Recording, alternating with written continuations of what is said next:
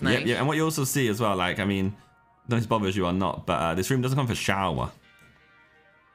You realize this or not? Yeah. Where the fuck's the shower at? Ah, that's what you Where think. Where the fuck am I supposed to shower? Don't worry, it's a prank. Being pranked by the Prank Patrol. It's a TV show. Um, so the shower is actually a walk-in shower. Really? Where is it? It's hidden behind these doors right here. Really?